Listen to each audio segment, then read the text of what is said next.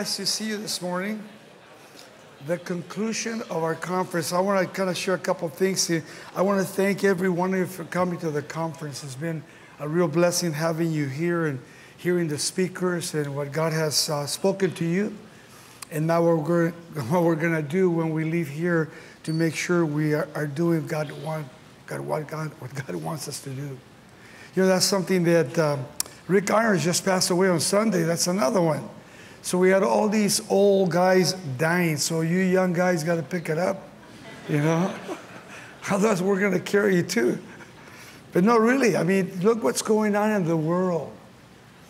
Whenever I go to a conference, doesn't matter whether it's big or small, I want to be able to hear what the Spirit of God is saying to the church. And that's for all of us here. You know, we are privileged to, to, to look, when I look at you guys coming here, to me it's a privilege to have you here to see what God has done in your lives, what He's doing in your life, fully and completely. And then the speakers that came and spoke to us, I thank God for them, what God is doing in their ministries, what God is doing in their own personal life. That uh, when we leave here, I want God to work in my personal life. Always. You know, you, you kind of, the calling of God, when I got called by God, I, you know, I didn't hear the voice of God. But there was something that I knew that I had to do. I went to Pastor Chuck and I said, Chuck, I don't know what, I'm, what I have to do. I said, I'm in the martial arts, I'm doing my studio and all these things. I'm at Bible studies in my school. And so what do I do? And he says, you know, do what God called you to do. I said, what is that? You know? And then I went home and prayed and I began to read about Jeremiah, about Paul the apostle, really related to him. And so I went ahead I told my wife, I said, you know, Sharon, I want to be in the ministry. But then I thought, if I'm in the ministry, God will take away my martial arts. And I don't want it to happen. I'd rather do my martial arts than do God's will. And the Lord spoke to my heart. He says, if you go, I'll, I'll give it to you. And he gave it to me. And wherever I go, I put on demonstrations and share my testimony, share the gospel of Jesus Christ. And then six, six, uh, six years ago, I took uh, samurai fighting, Kempo.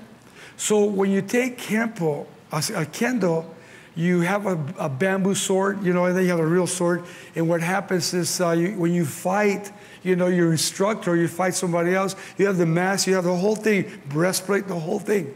So you get hit three strikes. You hit one, two, and three, you cut. So I'm fighting my instructor for six years, right? Because I want to learn really good. And so we're fighting all of a sudden. I go, stop, stop.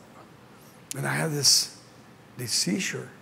oh my gosh, man, I can't believe it. So I thought, you know what? Get hit in the head. Then in Vietnam, I got blown up. So I thought, went to the VA. They said, well, you have a thing in your brain. It could have been when you were in Vietnam, you know, the whole situation. Then I went to UCLA. They said, well, you know, we can't really write that up now. He says, but we want to I want you, he says, we want you to come and spend five days with us so we can do a research or we can do a thing in your brain to see if you need surgery. I said, you know what? I'm not going to have surgery. So I went home and Pastor Dale and myself, I was uh, on a Wednesday night here. And I got off, you know, and went home in my car, got to my house, and all of a sudden, man, all of a sudden, darkness. Big time. I'm back in Vietnam, and I'm running for my life. I get on the phone, Sharon, get up here right now. Man, I'm going, they're going to try to kill me right now. Get up here. She gets up to my house, and I got everything dark, you know, I'm real paranoid. Never had them in my life, paranoid. Well, we go to the doctor, and I have another one of those men, and I mean, I am, I didn't think I could preach again. I called Chuck, Chuck, uh, somebody's gonna have to take the church. I can't do it anymore. I have all these problems. And he prays with me. And I'm out of the pulpit about, I think, four, six, what, four or six weeks where I can't do anything I'm just, i have never been depressed in my life. I wasn't depressed, but I was fearful that somebody was going to kill me. And the enemy came along and began to use that in my life. So now it's been 15, 16 years now that I have seizures. And that is embarrassing to me. I'll be teaching somewhere, and all of a sudden, from my navel to my brain, I can't speak, I can't read, so I have to stand still. And I have to get off the pulpit. Because if I don't, I start mumbling, you know, and it's embarrassing. Man, I almost died when I did that. I learned to keep quiet. I learned to go back and kind of kick back. And sometimes it's five minutes, sometimes it's 10 minutes, and some I can't come back out. So, you know, I stay in the back, then I go home and rest. And it's something like Paul the Apostle said, Lord, when are you going to help me? Lord, I'm teaching, I'm preaching, I'm in your ministry. What are you going to do with my life? Three times I Paul, and then I said, Lord, no more. Whatever you want in my life, I will do. And I heard this voice, it says, You don't like your cross? My cross? It's your cross. No, no, it's your cross. And so I began to study the cross. And let me read you before I get into my sermon. He said, John Wesley, give me a hundred men who fear nothing but sin and desire nothing but God, and we will shake the gates of hell and bring the kingdom in our generation to the Lord. I love that. Just a hundred men. I mean, think about it. So awesome to see you, young guys, old guys here. We're all together. And think of what you can do in your life and in other people's lives where God has called you. God has called you here. It's not how you speak, it's how you worship. It's how you worship the Lord in your private life, waiting for the message. I tell the body here all the time, you know, I can't get up here and just speak. God has to speak to me so he can speak through me to the body of Christ. Otherwise, I have no message. I shouldn't really teach. And I had to learn how to teach. I was just an evangelist, you know, like Mike and Greg, we were evangelists. And I went one time to Chuck because when I had my school, when I had my school there in West Covina, and I had my Bible studies, you know, in that studio, probably said about 100 people. That a person that came to help me and another person, they came to me one day and said, You know what, you really are not a pastor. Why don't you go and go preach? And what they wanted to do is take over the church. So I went to Chuck and Chuck and say, Boot them out. Okay, boot them out. You know? So I boot them out, and then God began to speak to me and says, I want to teach you. I'm going to teach you. I said, Lord, I don't even know how to speak, Lord. Said, I want to teach you. And I thought, wow, Lord, teach me. I want to learn about you. I want to teach about you. I want to be like you. Be you imitators. Know you not that you're the what? The temple of the living God, and if any man defile the temple of God, God himself shall destroy him. Turn to 1 Corinthians chapter 1. 1 Corinthians chapter 1. The power of the cross. The power of the cross. You know, when I speak about the cross always, you know, because to me it was a real effect in my life and continues to do that. I can remember when I read about Jesus being born in Bethlehem, the house of bread. And then Mary and Joseph, they went back to Nazareth for 30 years, and he grew up there as a carpenter. And I don't know if Joseph was alive, but Mary was alive. And at the age of 30, he had a call. And that call was to do what? To go out, preach, teach, and heal. Threefold ministry. And he did that. He chose 12 men, one a traitor, and to me, it's interesting that he kept a traitor. The one that was stealing, the one that was not only in himself trying to be not only a person that was always taking, forget everybody else, but about me, hey, I got the money. And then, as he chooses these 12 guys, but the 11 are the ones that are going to be disciples. So they go through, they preach for three years, you know, they're coming to an end of the ministry. You know Peter's story, I'm not going to repeat it. And the Lord was there, arrested, stood before the Romans. He got beat, you know, and 39 stripes. And, you know, when you looked at Jesus without actually the stripes in his back, real stripes that he had. And then when they placed that crown of thorns in his head, the Palestinian throne. And then when they put that crown of thorns, they gave him a cross. And when that cross was given to him, he didn't complain. Father, remember the Garden of Gethsemane? Father, whatever, whatever you want me to do, I want your will for my life. If you want me to die, I will die. Obedience. I told the Lord when I went to Him, I said, Lord, what do you want me to do? I want to do whatever you want me to do. Whatever. I'll go anywhere. God had given me a radio ministry with Greg and Chuck. You know, we were on different stations. And what we used to do is we used to go out to New York, Chicago, all these places, sometimes together, sometimes separate. But the Lord began to show me personally as I would go out and do my radio rallies. I went to Kentucky. I remember I have an accent. Okay, they're all white. Okay, I go there and I told you I don't know about this. You know, there's no Mexican, Germans here and Spaniards. You know, and we get to the, we get to the auditorium, and there's 4,000 people waiting, all white.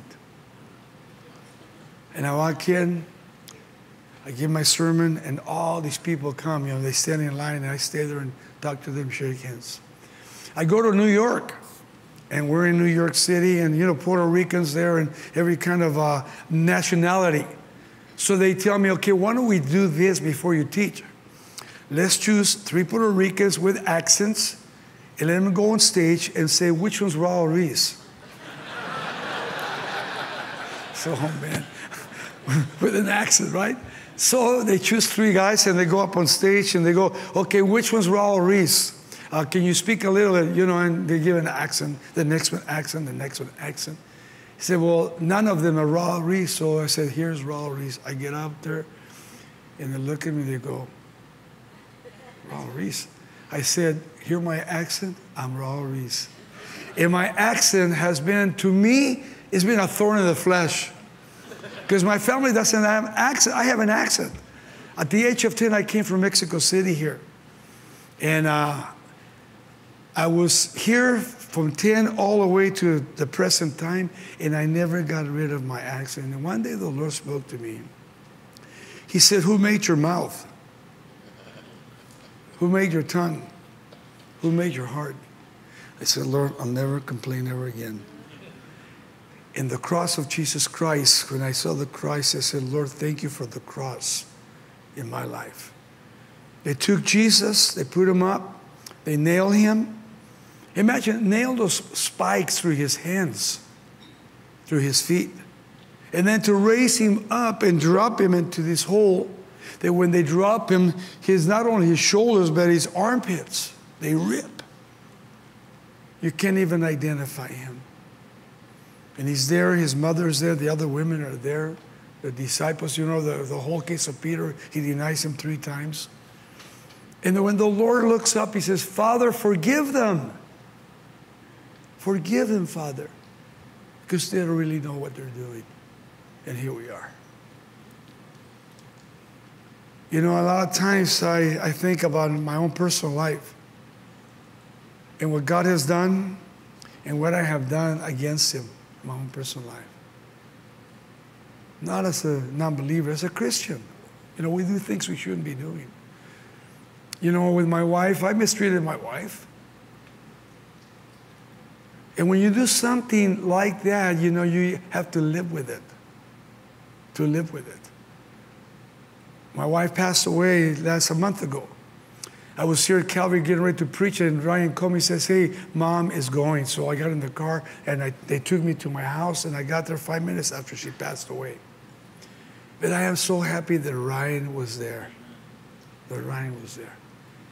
Because she prayed for Ryan for years and years and years. And to see his mom and for him to be with his mom as she went to heaven was the most amazing thing in my life. And I asked the Lord, Lord, forgive me. Because I know God was behind her when before I came to Christ. And you know, you guys in the ministry, we have pressures and we get uptight, we do things like that. And maybe you're here because maybe you're a wife and you're suffering from something. Maybe your husband's mistreating you. Maybe, you know, he has a girlfriend, or maybe you have a boyfriend, or maybe you really don't want to be in the ministry. My wife had a call for missions. But before I got saved, she packed up and she was leaving. And when I got saved, I said, Sharon, pack your bags, but go the other way now. Go to Colombia and see what you have to do. And if you see the movie or the uh, documentary later, you'll see the whole story. And so, in the last days, three days before she passed away, I'm thinking of the cross. Lord, the cross, the cross, the cross. I wake up, I'm sleeping on the floor, and I wake up, and she's sitting on the bed, on the edge of the bed. She can't walk. And she's sitting there. And I said, Are you okay, Sharon? She says, I have to go to the restroom. I pick her up, and I carried her. I don't want to cry. I carried her. And then I had to pick her up again and bring her back and put her in bed. I'll never forget that in my life. You know why? Because she was my wife in Vietnam. I picked up too many people in little pieces. But it wasn't like my wife. 56 years, July the 6th this year, married. The grace of God, the mercy of God, the love of God. So when I think of Paul the Apostle here in 1 Corinthians, we heard the other day the cardinal Christians. And then we hear about Revelations chapter, you know, chapter 3, the last, the last church, Laodicea. You're either cold, you're hot, or, you know, what happens? You're lukewarm. And if you're lukewarm, I will spew you out of my mouth. Spew you out of my mouth. You guys, you can be a flake. You can't be cold. You can't be lukewarm. We got to be hot for the Lord like never before. Young guys, you got to be hot for the Lord. There are too many distractions today, but if you look at the cross of Jesus Christ, there's really no distraction because if you're looking at the cross, the Lord is speaking to you. You're dying to yourself. And Paul here in Corinthians, in chapter 1, verse 17, he says, For Christ did not send me to baptize, but to preach the gospel, not with wisdom of words, lest the cross of Christ should be made of no effect. For the message of the cross is foolishness to those who are perishing, but to us who are being saved, it is the power of God. The power of God. The cross it's not a popular message, for sure, today. But the cross is not, you know, the cross is not being preached, not being preached by a lot of pastors.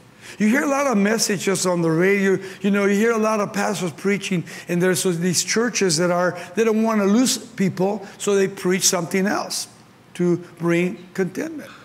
To say, stay in my church, you know, I need your finances. So I'm not going to preach the cross. I'm not going to preach a message that convicts people. So you have a carnal church. And then you don't have a carnal church, then you have no church. Because the gospel of Jesus Christ is not being preached. The cross, the cross, the instrument of death, the instrument of death to each one of us individually.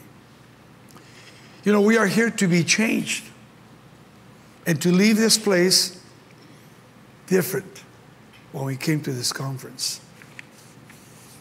We need to leave dead, alive in Christ. We need to be reckoned the old man to be dead. And to come to that place, say, you know what, Lord, I'm sick of my life. I've been in ministry all these years, so I've just started ministry, you know, and, and you're, you're actually, God, what, what should I do? How do I do it? And, and I'm going to be honest with you. I've never asked for money, ever, ever, ever in my life. I believe in the cross of Jesus Christ. I believe that Christ not only called me, but He allowed me to be a pastor, to be an evangelist, and to have this place that you see where I paid $145,000 a month without having it. And every month, God would meet the need through prayer. Through prayer they came a couple of uh, years ago, a couple of, a Jewish company that we know. And they say, you know, Raul, we want to buy your property. I said, well, what property? He says, that property that you see over there is, is taxable. And I said, well, how much you want to give me? He said, Well, we want to give you, you know, not 50, 15 million dollars, I was 16 million. I said, and what else? He said, I'm going to build you a road up there. I'm going to give you half of the water here. I'm going to give you a new, a new payment, a new outside. Everything will be brand new. And the next day I got a check for a million dollars. And then he sent me $15 million. I went to the bank and I paid it off. And I was zero. Because I'm old. I don't, I don't, I don't want people to be burdened, whoever takes over the church here. I, I want to make sure that they think not about money, but about Christ and the cross to preach, to teach. If God's in it, how can we fail? How can we fail? When the cross of Jesus Christ teaches me to die to self, in Matthew 16 24, he says, Then Jesus said to his disciples, If anyone desires to come after me, let him deny himself, take up his cross, and follow me. So, denial, cross, and follow me. Three things. Are we doing that? The cross of Jesus Christ, denying myself before the Lord. Forget about yourself. Think about Him. Let Him use your life. Allow Him to do great things that you can't do apart from Him. Apart from Him. We don't take offerings, and every Sunday we barely make it, but we make it. I love that. Because I want to believe by faith that God called me. That I'm here because God called me, and I hope you're here because God called you. That when you leave here, when you came through those doors, you leave crucified your life. When you go back, people can see the change. Your congregation, your family. That God has really spoken to you. And I just came to sit, you know, fellowship with other people, but you came here, you know, to not only be ministered to, but to minister to others. To minister to others. But most important, you came here so that God can change your life change your life, to give you more power. Lord, empower me with your Holy Spirit. Lord, when you send me to South America, Mexico, all these places that I have to go, because we have Calvary's chapels. And when I go there, I see these guys, they listen to Chuck's tapes. Nobody can work here unless you go through all of Chuck's tapes, which now you don't have tapes. You got to know Chuck's philosophy. You have to know Chuck's doctrine. I don't want to listen to me, listen to Chuck. He's an amazing teacher. And then we're of same mind, same philosophy, same doctrine, and you don't have divisions. And if you have divisions, then you can say, You're not welcome here. You have to leave. Because the cross of Jesus Christ is to die to self and not to try to take over ministries or do anything against any brother or sister dying to self. The cross was used as an instrument of death, was either a plain vertical stake to which the victim was fa- fastened with the hands tied or nailed above the head, or such a stake provided with a crossbar, to which the victim was fastened with the arms stretched out. This form of punishment was used among the Egyptians in Genesis 40 19 the Corinthian or Carthaginians and, per, and Persians. Esther 7:10, the Assyrians, the, the Scythians, the Indians, the Germans, and for earlier times among the Greeks and the Romans, after the conquest of Tyre, Alexander the Great ordered 2,000 Tyrians to be crucified as punishment for the resistance of which that city was made. Crucifixion was abolished by, the, by Constantine, probably toward the end of his reign, owing doubleness to the increasing, to his increasing reverence for the cross. Punishment by the cross was confined to slaves or malefactors of the worst class, exception for it was a privilege of Roman citizenship. Roman citizenship. When you begin to speak on the cross, people get very uncomfortable. and offended. You know, I don't understand when, you know, when I, I used to go to the Catholic church and I was a Catholic by name. But I, I, I was talking to some Catholics the other day. I said, why is it that when you go into the Catholic church, Jesus still on the cross? Why is Mary a priority and not Jesus? Why don't they take him off? He's not there any longer. And the people, they're not worshiping Jesus. On their dashboards, they have Mary. And then Mexico has the Water of Guadalupe. All these, all these saints, all these idols, when the Bible speaks against the idols. But we worship Jesus. God is a spirit, and those that worship North Jesus, we worship him in spirit and in truth. In in truth. The cross demands death for me, myself, and I. So many people do not understand the significance of the cross. Paul understood the cross in his own personal life. At the end of his life, after serving the Lord for so many years, he said, I got to go to Jerusalem. I got to go to Rome. And they took him and they, they killed him. Became a martyr.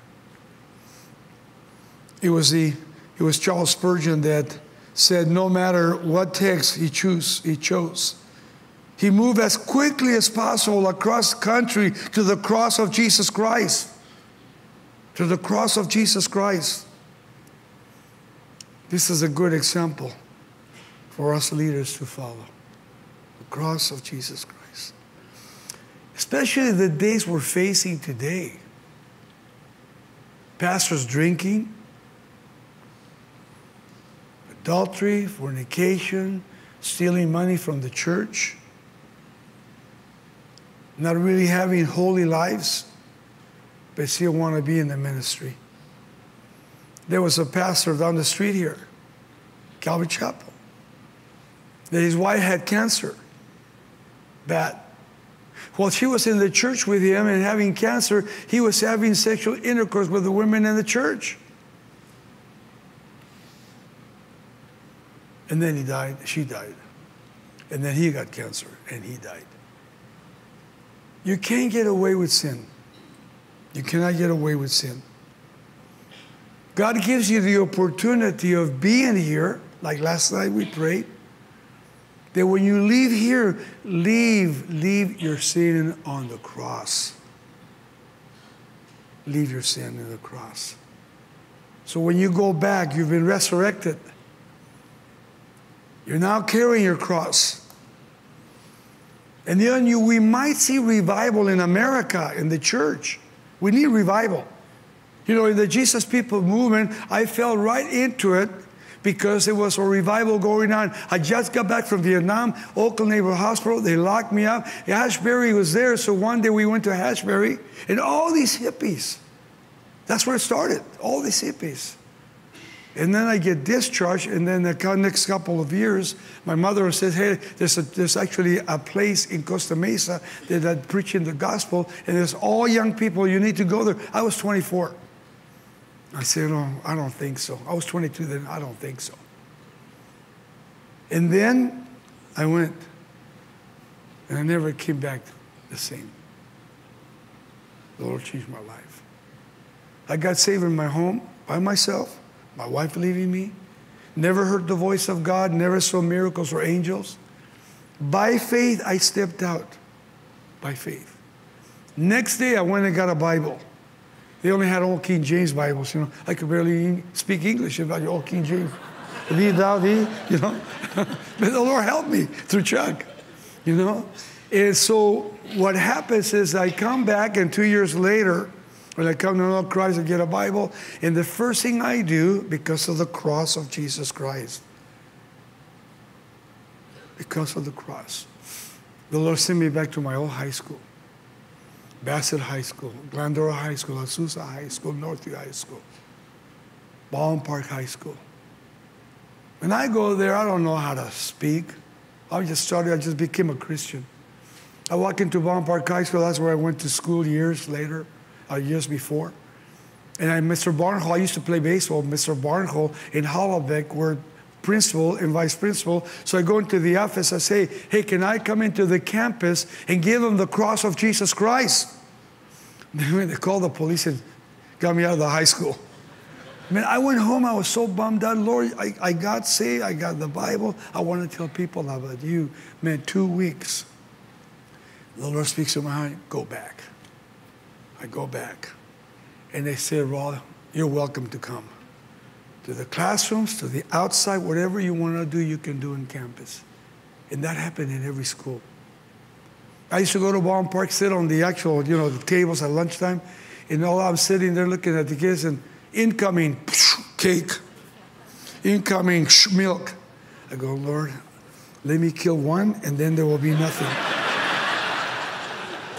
it will stop for sure. and the Lord was teaching me to be patient. And you know what? From that point on, the cross became more real in my life. I love the cross. I love preaching on the cross.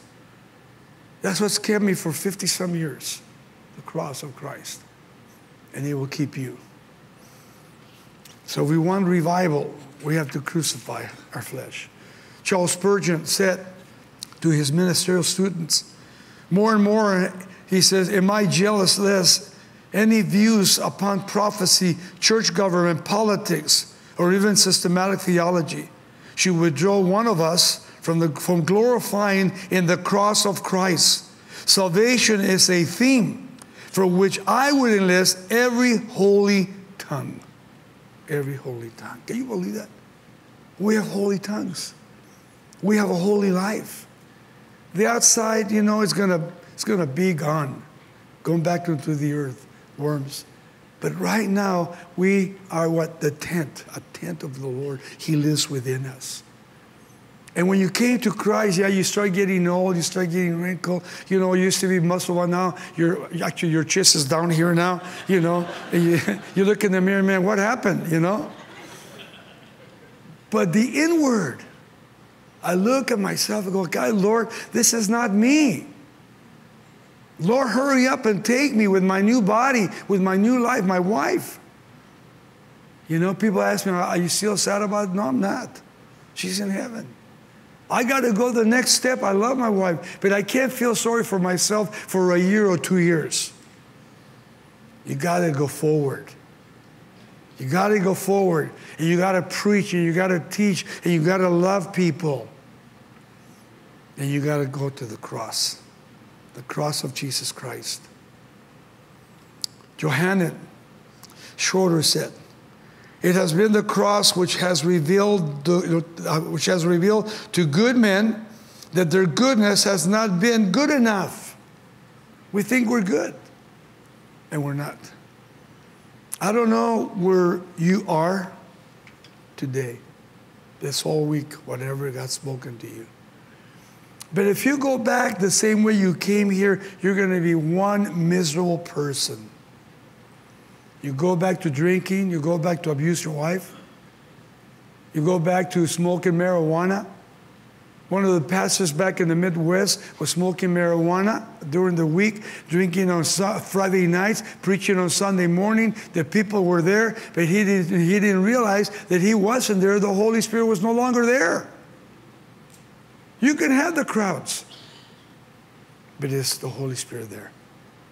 That's what I saw in Calvary Chapel, and that's what I see in Calvary Chapel today. You guys, you guys, we want another revival. You're that generation, you young guys. You got to do it. And I tell some of the young guys, you know, if you're 18, 19, you're 25, 30, you know, I'm, I'm 77 this year, and I say, you know, you got a long time to go. Are you going to make it?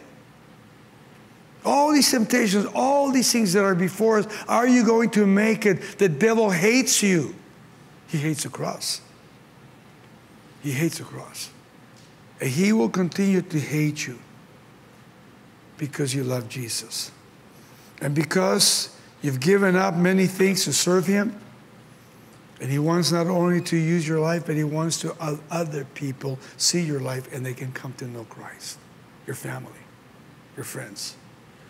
You know, I shared with the church the other day, you know, we're Christians, you know, we have the Lord, we're pastors, we're doing all these things. And then I asked the people, you know, you're, you're trying to witness to your family or friends, and then they see you drinking. I walked into a restroom with Pastor Dale, and the people that come here, a family, they were drinking. And they saw me, and, you know, they hit their drink.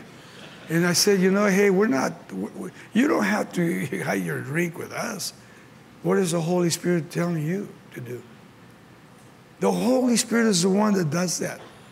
So if you're drinking, fornicating, committing adultery, and you're smoking marijuana, and you're doing all these things, and you're lying, liars will not inherit the kingdom of God. Paul. Well, Peter, uh, Paul in 1 Corinthians chapter 5, chapter 6, Galatians 5, Ephesians 5, and you go through the scriptures speaking to Christians. Not non believers, Christians. Paul wrote those, uh, those epistles for who? For us. And he warns us. I call it 14 letters, even Hebrews, I think Paul wrote it. 14 letters. And I thank God for you. I thank God for you that you're here. And Paul said, I'm, I am crucified with Christ, Galatians 5.20. In my tombstone, I'm going to put, you know, Philippians 1.21. For me to live is Christ and to die is to gain. That's it. For me to live is Christ, but to die is to gain. I have obeyed the word of God, and now I'm ready to meet the Lord. Ready to meet the Lord. Romans chapter 6, verse 6, knowing this, that our old man was crucified with him that the body of sin might be done away with, that we should no longer be slaves of sin. For he who has died has been freed from sin. From sin. Romans 12:1 I beseech you therefore brethren by the mercies of God that you present your bodies a living sacrifice holy acceptable to God which is a reasonable service. And don't be conformed to this world. Be you transformed by the renewing of your mind, that you may prove what is that good, acceptable, and perfect will of who? God. The will of God. Preaching the cross is much more than preaching about the cross. Preaching the cross is much more than preaching about the cross. It means seeing God's truth through the cross and the grace of God in my life. The grace of God in my life. That He loves me, that He's called me, that I can love you, you can love me. And we can fight the fight. We're an army, you know, we're warriors. Warriors for Christ. I was a warrior in Vietnam. I went through a lot. That taking the hill, I had to go back to Vietnam and film it. And the way it happened, I was with Billy Graham, and they wrote an article, you know, about me, and I said things that I should have never said. So the government got a hold of me. They were going to take me in. And then they asked three guys they found in my platoon that I hadn't seen in 40 some years. One of them, his mom, listened to me on the radio in New York. They didn't know me, They knew his son. So they called me, and we find these guys because they found them first and they asked them if this is true. Separate them. Then they called me and they separated me. And every story was the truth. The truth. Excuse me. And then the Lord spoke to me. My wife went with me to Vietnam. It was probably one of the hardest things for me to go back to Vietnam to film. To go to those places that I had been and tell my wife, see what happened. And then sit on China Beach, there looking out and asking the Lord to forgive. Me. To forgive me, to cleanse me, wash me, because of the dreams that I've had. And then I read about the cross of Jesus Christ again. For the Christ says, For Christ did not send me to be baptized, to baptize, but to preach the gospel, not with wisdom of words, lest the cross of Jesus Christ should be made of no effect. No effect. Some Christian missionaries, you probably heard this before, once visited Mahatma Gandhi. And he asked them to sing, to sing to him one of their hymns. He said, Which one do you ask? And then he says, Sing for me one that best expresses what you are preaching. It took them but a moment to decide together. They sang, When I, shoot, when I survey the wondrous cross. The wondrous cross. I love the cross. I love my Savior. The cross of Christ is a must to everyone. As we saw in 1 Corinthians 1:17, the cross reconciles Ephesians 2:16, in that he might reconcile them both to God in one body through the cross. The cross of Christ makes enemies. Philippians 3:18. For many walk of whom I have told you often, and now I tell you, even weeping, that they are the enemies of the cross of Jesus Christ. The cross of Christ brings peace. Colossians 1:20. And by him to reconcile all things to himself, by him, whether things on earth or things in heaven, having made peace through the blood of his cross. The cross of Christ crucifies the world. Galatians 6:14. But God forbids that I should boast except in the cross of our Lord Jesus Christ, by whom the world has been crucified to me, and I in the world. I in the world. The cross of Christ saves me from wrath of God. Romans 5 9. Much more than having now been justified by his blood, he shall be saved from wrath through him.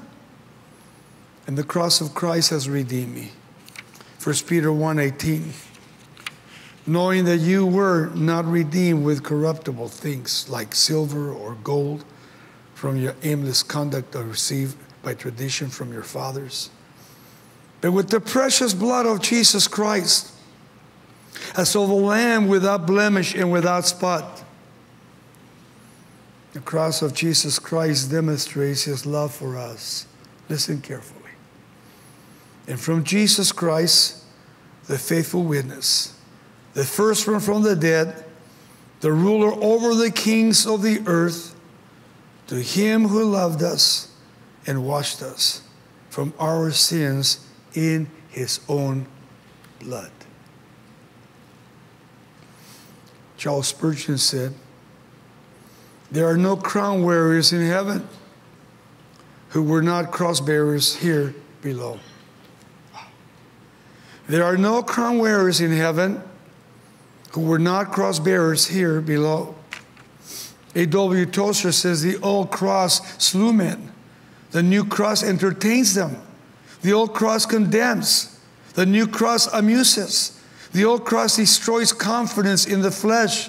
The new Christ, no, the new cross encourages every single one of us.